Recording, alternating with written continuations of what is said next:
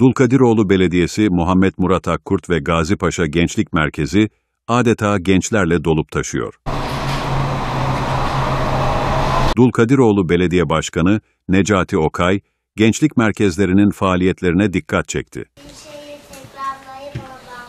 Hem Dulkadiroğlu Gençlik Merkezi'nin hem de Gazi Paşa Gençlik Merkezi'nin gençlerin gözdesi olduğunu dile getiren Başkan Okay şunları söyledi. Geleceğimizin teminatı olan gençlerimizin her açıdan kendilerini yetiştirmeleri, hayata hazırlamaları ve eğitimlerine katkı sunma adına gençlik merkezlerimiz yoğun çalışma içerisindedir. Gençlerimiz büyük bir hazinedir.